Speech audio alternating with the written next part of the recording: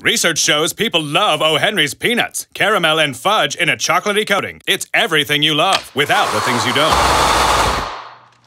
I did not love that. That's why it's not in O. Henry. O. Henry, everything you love, nothing you don't.